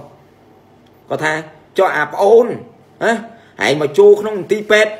ស្មាននឹងធ្វើអីហើយមន្ទីរពេទ្យកាលពី10ឆ្នាំជាងមុនអ្នកទាំងអស់គ្នាគិតមើលមើលមន្ទីរពេទ្យកាលពី10ឆ្នាំជាងមុនណាសាលសាលអាសាលគេតម្កល់សាកសពក៏នៅនឹងអាកន្លែងសាលបូជាសាកសពក៏នៅនឹងកន្លែងដិតខ្មោចក៏នៅនឹងកន្លែងទុកខ្មោចក៏នៅនឹងខ្មោចងាប់មែនតិចណាអាផ្លូវដែលខ្ញុំជិះកាប់ហ្នឹងខ្មោចងាប់មែនតិចបើអ្នកណាមិនជឿខ្ញុំជូនទៅឥឡូវហ្មងខ្ញុំជូនឲ្យអ្នកទាំងអស់គ្នាជឿនៅមន្ទីរពេទ្យហ្នឹងឥឡូវនៅតែដដែលនេះគ្រាន់តែមានការអភិវឌ្ឍបន្តិចបន្តួចប៉ុន្តែអាផ្លូវចូលទៅខ្ញុំខ្ញុំធ្លាប់ទៅយកព័ត៌មាននៅពេលដែលករណីឃាតកម្មគឺអាកន្លែងទុកសាកសពក៏នៅនឹងសាលតម្កល់សាកសពក៏នៅនឹងគឺទុកនៅនឹងទាំងអស់អញ្ចឹងបាទខ្ញុំថាអូសាហាវមែនខ្ញុំជួបពូសនសុកហ្នឹង បើឥឡូវខ្ញុំបានឃើញមុខគាត់ណាបើខ្ញុំបានឃើញមុខគាត់វិញខ្ញុំសូមអរគុណគាត់ហ្មងនិយាយថាខ្ញុំជូនសកុនគាត់ចាយទៀតតែមិនដឹងគាត់នៅណាទេខ្ញុំជួបគាត់គុំតបានគាត់ជូនខ្ញុំពីអ្នកប្អូនខ្ញុំចេញពីមន្ទីរពេទ្យមកខ្ញុំឃើញគាត់ដូចកើតម្ដងទៀតនិយាយមែនហើយខ្ញុំដឹងខ្ញុំឃើញគាត់ខ្ញុំដឹងតែគាត់មនុស្សមូលហេតុអីអត់ខ្ញុំប្រចាំងភ្លើងម៉ូតូខ្ញុំទៅឃើញជើងចាស់ចាស់ពីដើមថាខ្មោចខ្មោចអត់មានជើងទេអញ្ចឹងខ្ញុំឲ្យគាត់ជូនឲ្យពូនឹងគាត់ដឹងថាខ្ញុំណាគាត់ដឹងថាខ្មោចលងពីអ្នកប្អូនខ្ញុំដោយសារគាត់ឃើញប្អូនខ្ញុំសវណ្ណសេដ្ឋីគាត់ដឹងថាខ្មោចលងហ្មងអាប្អូនខ្ញុំហ្នឹងបើខ្ញុំខ្ញុំអត់សូវភ័យទេខ្ញុំអត់សូវភ័យតែបើប្អូនខ្ញុំថៃភ័យសវណ្ណសេដ្ឋីភ័យកាលហ្នឹងគាត់នៅក្មេងចឹងបានគាត់ជូនម៉ូតូខ្ញុំណាបានគាត់ជិះពីក្រោយគាត់ជិះបាន3នាក់គាត់ជិះពីក្រោយម៉ូតូគាត់ជូនខ្ញុំមកដល់ខ្លោងទ្វារចេញ ខ្ញុំដូចកើតម្ដងទៀតចឹងអ្នកទាំងអស់គ្នាខ្ញុំ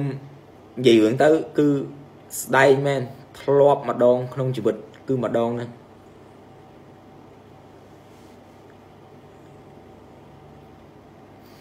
ហើយបើខ្ញុំទៅថតកម្មវិធីផ្លូវងឹតថ្ងៃមុនណានៅវត្តគេហៅវត្តអីគេអាផ្លូវងឹតពេលទៅមួយបងអាកម្មវិធីអ្នកកសែតទូខ្មោច អាទឿបាទវត្តមលងមលូនេះវត្តមលងមលូក៏សាហាវដែរអ្នកទាំងអស់គ្នាពេលខ្ញុំទៅថតណាកម្មវីដេអូហ្នឹងខ្ញុំអត់តន់បង្ហោះដោយសារអីវាអត់តន់ផលិតហើយវាអត់មានដើមទុនខ្ញុំទៅថតប្រហែលជាម៉ោង2 10យប់ម៉ោង1យប់ថតថតយើងនិយាយរឿងខ្មោចអ្នកទាំងអស់គ្នាជឿអត់ដើមឈើមកកណូនៅវត្តមលុងមលូខ្ញុំមើលតែដើមឈើអត់មានដើមឈើណាខ្យល់បក់បន្តិចខ្ញុំខ្ញុំអង្គុយនិយាយមួយថ្ងៃអត់មានខ្យល់ទេ គ្រាន់តែយើងនិយាយខ្មោចតៃហោងខ្មោចតៃហោងអាកន្លែងដែលពួកខ្ញុំអង្គុយនិយាយហ្នឹងមានខ្យល់គួចហ្មងអ្នកទាំងអស់គ្នាហើយអត់មានខ្យល់កន្លែងណាមានតែខ្យល់កន្លែងពួកខ្ញុំអង្គុយនិយាយអង្គុយនិយាយហ្នឹងហើយខ្យល់មិនខ្យល់ធម្មតាខ្យល់ខ្យល់គួចខ្ញុំថាចូលខ្ញុំប្រាប់ក្រុមការងារខ្ញុំរើអាវ៉ាន់ចេញមកតោះបានទេខ្ញុំដឹងថាថាគេអត់សុបាយចិត្តនៅពេលដែលយើងថតហើយមានន័យថាយើងទៅរំខានគេយើងទៅរំខានគេអញ្ចឹងខ្ញុំក៏ក៏នេះទៅក៏ក៏ក៏ឲ្យក្រុមការងាររើបានទៅទៅ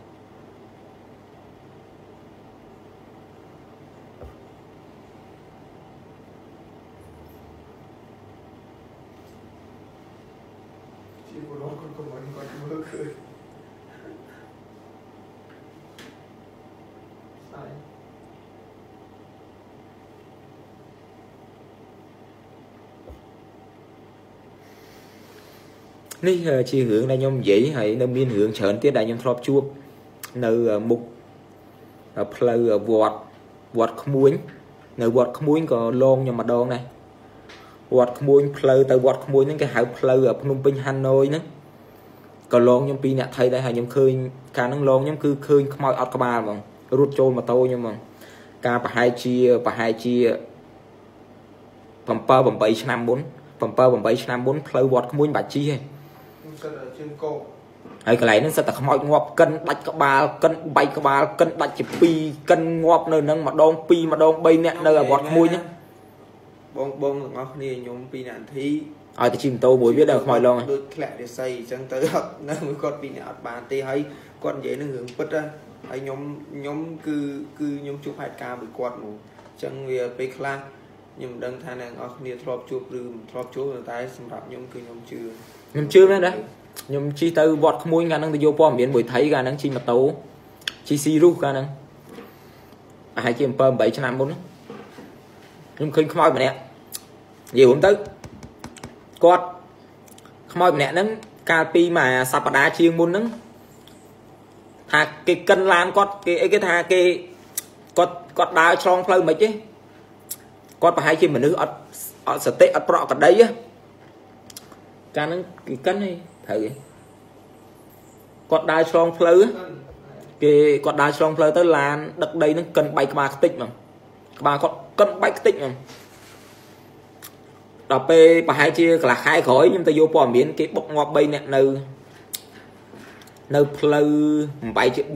3នៅតនុកប់ស្រូវហ្នឹងខ្ញុំទៅយកព័ត៌មានមួយថៃហ្នឹង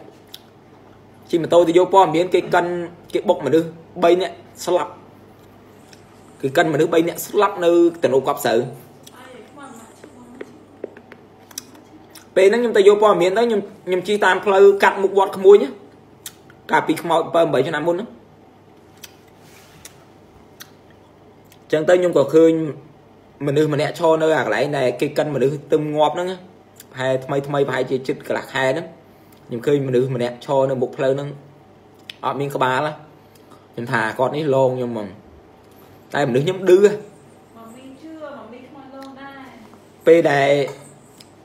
ពេលដែលអឺពេលដែលអឺនេះណា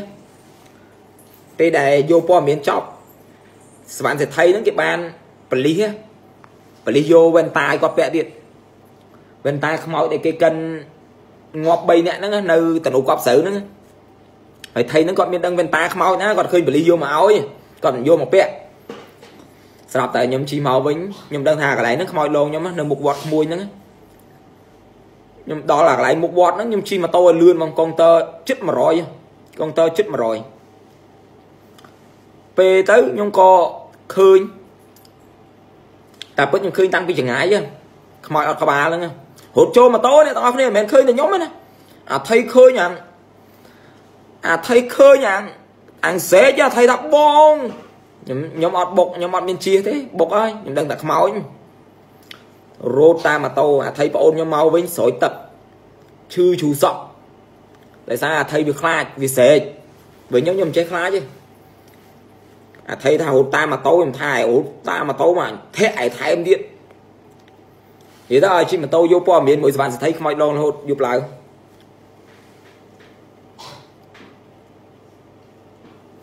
ដូចខ្ញុំនិយាយចឹងថាបើមិនជឿសូមគុំ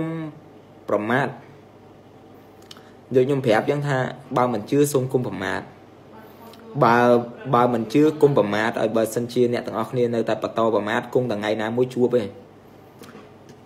ខ្ញុំជិះឡានទៅមួយអុកញ៉ាម្នាក់នៅកន្លែងភ្នំអឺនៅអាកន្លែងលោកយាយម៉ៅសាក់សាក់សិតខ្ញុំជិះឡានទៅមួយអុកញ៉ាម្នាក់ប្អូនចដូនមួយគាត់ជិះឡានមនុស្ស5នាក់ ស្រីទាំង5នាក់ស្រីទាំង5នាក់គាត់ទៅលេងកំពង់សោមហើយអុកញ៉ាហ្នឹងគាត់ប្រាប់ខ្ញុំផ្ទាល់ហ្មងគាត់ថានៅកន្លែងលោកយាយម៉ៅជិះហួរលោកយាយម៉ៅបន្តិចយើងមើលទៅឃើញភ្នំមានភ្នំមួយมันមានទឹកធ្លាក់អូនចដូនមួយរបស់អុកញ៉ាហ្នឹងគាត់ដឹងគាត់ប្រាប់មិត្តភក្តិថាម៉េចអត់ពងអាជីឡានហ្នឹងកន្លែងយាយម៉ៅសាកសិទ្ធអ្នកទាំងអស់គ្នាគុំគុំគុំគុំលេងសោច ដឹងគាត់និយាយថាម៉េចអត់គាត់ថាជុំភ្នំនោះឃើញទឹកធ្លាក់ស្អាតមែនពួកឯងបើសិនជាពួកឯងបាត់អញណាពួកឯងមករកអញនៅភ្នំហ្នឹងមកឃើញហើយអញចង់អញអញអញឃើញទឹកធ្លាក់នៅភ្នំហ្នឹងស្អាតណាទៅថ្ងៃមុខអញនៅហ្នឹងហើយណាគ្រាន់តែនិយាយប៉ុណ្ណឹងឡានកលាប់ភីង5នាក់ស្លាប់តែម្នាក់ហើយអុកញ៉ាអុកញ៉ាបងអុកញ៉ាហ្នឹងល្បីឈ្មោះណាស្រុកខ្មែរកូនអុកញ៉ាល្បីឈ្មោះម្នាក់ខ្ញុំមិនបាច់ចាំនិយាយឈ្មោះគាត់ទេក៏ គាត់ជាអុកញ៉ាពេលហ្នឹងខ្ញុំជិះឡានទៅយកព័ត៌មានមួយគាត់គាត់ឲ្យខ្ញុំទៅយកព័ត៌មានអំពីការអភិវឌ្ឍរបស់គាត់ណាគាត់ចង់ធ្វើការអភិវឌ្ឍនៅកន្លែងហួសលោកយាយម៉ៅនៅកន្លែងគេហៅអីគេកន្លែងគេហៅគេកន្លែងគេចូលចិត្តទៅហូបបាយហ៎អឺមានមួយទៀតអាពេជ្រនៅហ្នឹងគេហួយគេហៅស្អីគេហៅអីគេកន្លែងគេចូលទៅស៊ីបាយរហូតមានស្ថានភាពមានអី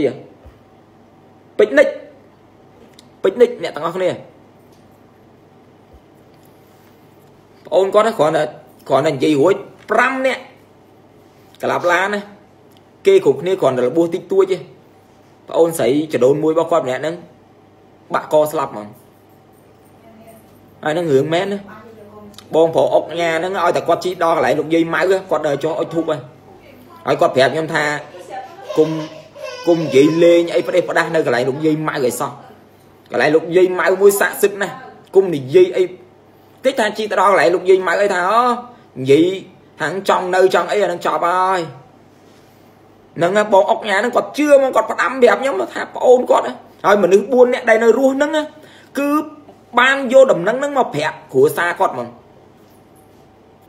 ចឹងមិនគាត់ឆ្ងល់ថា4 5នាក់ស្លាប់តែប្អូនចដូនមួយគាត់ម្នាក់ហើយស្លាប់ក្លាប់ឡានហ្នឹងបត់កបាក់កស្លាប់ទៀតស្លាប់តែម្នាក់ បងញ៉ាហ្នឹងគាត់និយាយប្រាប់ខ្ញុំថារឿងហ្នឹងយូរដែរហើយជា5 6 5 6 7ឆ្នាំមុនឬក៏យ៉ាងម៉េចទេគ្រាន់ខ្ញុំចាំច្បាស់គឺបងញ៉ាគាត់ប្រាប់ខ្ញុំចឹងហ្មងគាត់ថាប្អូនចដូនមួយគាត់មួយ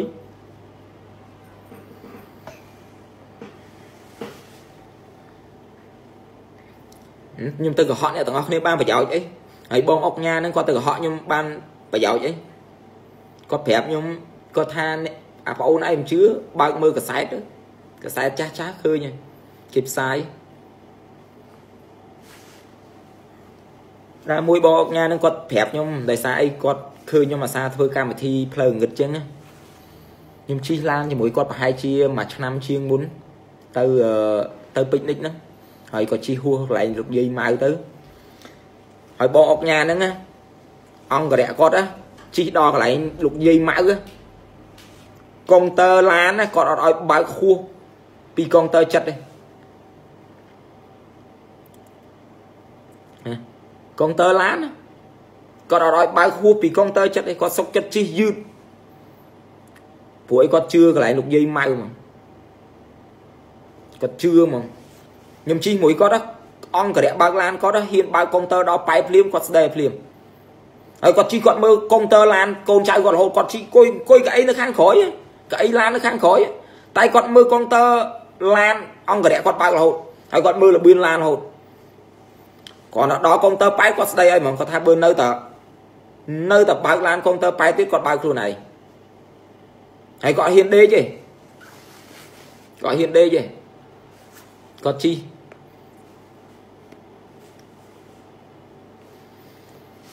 អានេះជារឿងមួយដែលយើងខ្ញុំខ្ញុំគ្រាន់តែចង់ចែករំលែកបទពិសោធន៍ឲ្យអ្នកទាំងអស់គ្នាបានដឹងទេតែបើនិយាយពីខ្ញុំខ្មោចខ្ញុំជឿ តែបើសម្រាប់អ្នកទាំងអស់គ្នាដែលមិនជឿដូចខ្ញុំបានបង្ហោះពីម្សិលមិញចឹងថាបើសិនជាអ្នកទាំងអស់គ្នាមិនជឿដូចខ្ញុំនិយាយចឹងថាបើសិនជាខ្ញុំនិយាយទៅគេអត់ជឿខ្ញុំនិយាយជាមួយនឹងអ្នកដែលគេអត់ធ្លាប់ជួបគេអត់ជឿគេថាខ្ញុំឈួតហើយតែបើនិយាយដែរជាមួយនឹងអ្នកដែលធ្លាប់ឲ្យដែលដែលគាត់ធ្លាប់ជួបហើយគាត់ជឿគឺគាត់គឺគាត់ជឿគឺគាត់ដឹងហើយគាត់យល់អារម្មណ៍ដែលនៅពេលដែលជួបខ្មោចនេះទំឃើញនៅកាស៊ីណូម្សិលមិញដែលគេបង្ហោះ ខ្ញុំឃើញកាស៊ីណូវីដេអូនៅកាស៊ីណូម្សិលមិញដែលគេបង្ហោះអូសាហាវមែនឃើញម្នាក់ស្រីហ្នឹងគឺគាត់ព្រមទៅណាទូរស័ព្ទតិចណាឈប់ចាំតិចយល់មកមើលម្នាក់ស្រីហ្នឹងស្ដែងមកគាត់ព្រមទៅនិយាយទៅនៅពេលដែលគេហៅគាត់គឺអត់គាត់ព្រមទៅណាអីគេគឺគាត់យល់ម្នាក់ account នេះអត់ទេខ្ញុំ share link ចូលនេះនេះ account គាត់អីគេនៅពេលដែលខ្ញុំឃើញប្តីគាត់បង្ហោះបានស្ដែងមកខ្ញុំមើលយប់មិញ ខ្ញុំមើលឲ្យព្រឺក្បាលខ្ញាក់ហ្មងនៅពេលដែលគេហៅនៅពេលដែលភ្ញៀវហៅគាត់នៅពេលដែលខ្មោចបើកបុកគាត់រួចភ្ញៀវហៅគាត់ក៏គាត់អត់ងាកក្រោយដែរស្ដែងមកអ្នកទាំងអស់គ្នានេះនេះខោនេះនេះបងប្អូននេះ គឺខ្ញុំ share ខ្ញុំថាខ្ញុំជួបឆ្អែតហើយរឿងនេះនៅពេលដែលយើងនិយាយប្រាប់អ្នកអត់ជឿគេថាយើងឈួតបងប្រុសគាត់ទៅសេគាត់ថាម៉េចគាត់ថាហេតុការមួយបានធ្វើឲ្យខ្ញុំព្រឺក្បាលខ្លាំងណាស់វាបានកើតឡើងនៅក្នុងកន្លែងធ្វើការខ្ញុំរឿងមួយដែលខ្ញុំនឹកស្មានមិនដល់ប្រពន្ធខ្ញុំគឺជាអ្នកឃើញតបភ្នែកហើយឃើញហើយគាត់មើលខ្ញុំអានបដៅព្រឺក្បាលបដៅហើយគាត់បានប្រាប់ខ្ញុំថាគាត់បានឃើញ បុរសម្នាក់ពាក់អាវសខោប្រផេះបានដើមមើលខ្ញុំនិយាយចូលមើលសម្បល់ខ្ញុំព្រឺអ្នកទាំងអស់គ្នានេះចូលមួយខ្ញុំអានរឿងគាត់អានឹងយើងនិយាយរឿងពិតពិតណានេះខោប្រផេះបានដើរយ៉ាងលឿនសំដៅមករកគាត់ហើយបុកប៉ះគាត់ធ្វើឲ្យគាត់ប៉ោងសក់ក្បាល ពេលគាត់ងាកមើលទៅក្រោយរកមើលស្រាប់តែគ្មានអីសោះគាត់ភ័យណាស់គាត់បានរត់មកប្រាប់ខ្ញុំឲ្យដឹងខ្ញុំអស់ខ្ញុំមិនអស់ចិត្តខ្ញុំក៏បានឆែកកាមេរ៉ាសមត្ថភាពខ្ញុំបានខ្ញុំមិនបានឃើញបុរសដែលពាក់អាវសនោះទេ គឺខ្ញុំបានឃើញសក់ប្រពន្ធខ្ញុំបាទដូចមានអវ័យមកទាញនិងប៉ះធ្វើឲ្យសក់ក្បាលគាត់ប៉ើងឡើងលើ បើបងប្អូនមិនជឿសូមកុំប្រមាថណាបងប្អូន អាចមើលតាមវីដេអូខាងក្រោមនេះបាន វិញ្ញាណពិតជាមានមិនថាកន្លែងណាឡើយអ្នកខ្ញុំបើកវីដេអូអ្នកទាំងអស់គ្នាមើលនេះខ្ញុំមើលបងស្រីហ្នឹងគឺអ្នកទាំងអស់គ្នាឃើញទឹកមុខគាត់គឺខ្មោចលងមែនហ្មងនេះនៅពេលដែលគាត់ងាកមកនេះអ្នកទាំងអស់គ្នាមើលមុខគាត់ពឹងឃើញហ៎គាត់ភ័យមើលភ្ញៀវហៅគាត់ ឃើញគាត់ភ័យអត់ឃើញគាត់ងាកក្រោយអត់ឃើញគាត់ភ័យគាត់ភ្ញៀវហៅគាត់មើលបងប្រុសនេះហៅគាត់ឃើញភ្ញៀវហៅគាត់ក៏គាត់អត់ព្រមត្រឡប់ទៅវិញដែរឃើញក៏អត់ទៅទេនេះអ្នកនរគ្នាឃើញអត់នេះនេះនេះពឹងឃើញអត់ឃើញសក់គាត់ប៉ើងអត់ចាំមើលខ្ញុំបើកវីដេអូមួយទៀតអត់មើលគឺស្ដែងហ្មងមើលឃើញគាត់ភ័យអត់ គាត់ភ័យគាត់ភ្ញៀវហៅក៏អត់ព្រមទៅដែរគាត់រត់ទៅអោបប្តីគាត់យំរហូតនេះមកលងគាត់ស្ដែងពេកនៅនៅកន្លែងលបែងឃើញសក់គាត់ប៉ៅអត់ឃើញមនុស្សបុកគាត់មែនឃើញគាត់ឃើញគាត់ឃើញគាត់បាក់អឺមួយមនុស្សអត់ណាចាំមើលគាត់ងាកមកអានេះគេដាក់វីដេអូ slow motion ណាចាំមើលសក់គាត់ពឹងឃើញដល់ពេលគាត់ងាកក្រោយអត់មានឃើញអីសោះ ឃើញសាហាវអត់សាហាវណាឲ្យបងស្រីហ្នឹងភ្ញៀវហៅមកក៏ព្រមទៅវិញដែរក៏ខ្លាចហ៎ឃើញទេនេះអូស្ដាយអ្នកទាំងអស់គ្នាស្ដាយមែនតើហ្មងហើយខ្ញុំ share រួចវីដេអូហ្នឹងអ្នកណាគេចង់មើលគឺអាចមើលបាននេះ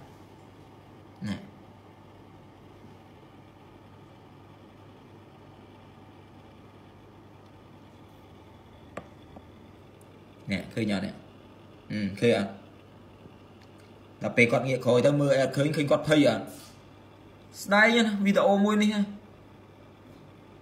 ណែភ្ញៀវនេះហៅគាត់ឲ្យឃើញនេះហៅគាត់គាត់គាត់គាត់ព្រមទៅដែរឃើញគាត់ដើរគិចហ្មង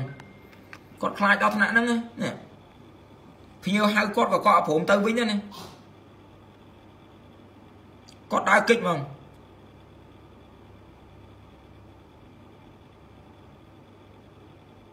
អឺអាឋានអីក៏ដោយខ្មោចលបែងសួរព្រឹកមើលទូរទស្សន៍ជនដែរចុយអានេះបើកខ្លួនឯងខ្ញុំអត់ដឹងនៅកាស៊ីណូណាគេអត់ទៅសេកាស៊ីណូណាផងហើយតែនិយមនេះស្ដាយហ៎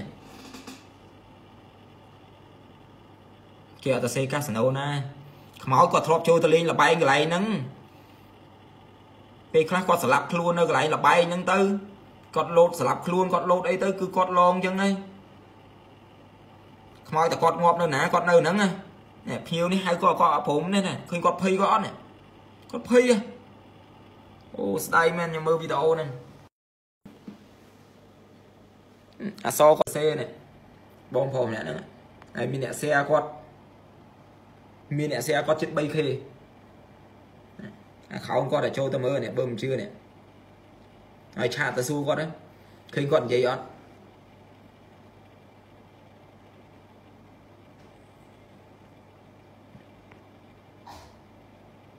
ឃើញគាត់និយាយអត់ខ្ញុំ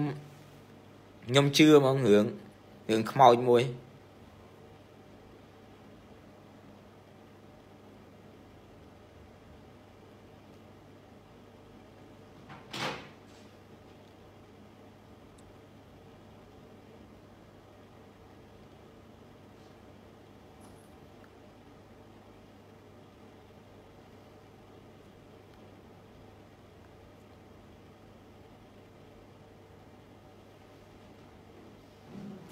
គឺគឺស្ដែងណា